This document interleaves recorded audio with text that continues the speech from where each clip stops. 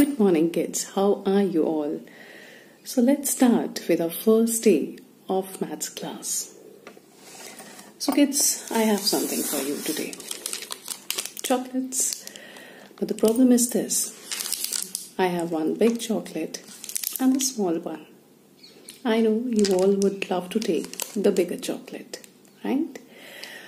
I promise you all that once you all will get back to school, I'll give you big chocolates.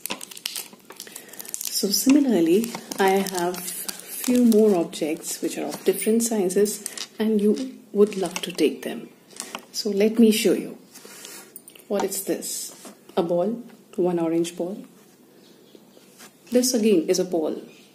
It's white colored ball. But there is difference in their sizes. Orange ball is big ball. White ball is small ball. Right? So let me keep it here. Now on the screen also you can see two elephants. Mama elephant is a big elephant. You all can see this? Right. The small elephant is a baby elephant. So you can clearly make the difference between the big size and the smaller size. Like you all are small right now. So when you will grow up, you will become big and strong. Correct? I'll show you one more example of big and small. On the screen, you can see two dinosaurs. They are of different colors.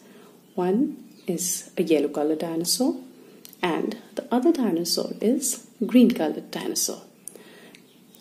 You can tell me like which one is big? Yes, yellow dinosaur is big dinosaur and the green dinosaur is small. So till now, whatever objects I have shown you, these are two. We can clearly tell you the difference between big and small between two objects. So now what will happen uh, if you have more than two objects? What words you will use? I will show you like now I have three balls two balls I show I have sh already shown you now the third ball has joined the party the yellow ball this ball is even smaller so when we have to compare the sizes in a group what words we use this is the smallest ball in the group right then this is a smaller ball, right? But what is this? This ball is the biggest ball in the group, right? So when we compare the sizes, when we compare the size of the objects, then we use words like bigger, smaller, or biggest, or the smallest. So I'll show you one more example for this.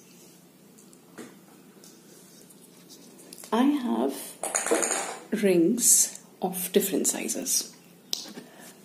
See, blue coloring. Then you have green coloring. This is little smaller. In this, blue is big. This is green one is small. But if I add more rings to it, red and yellow.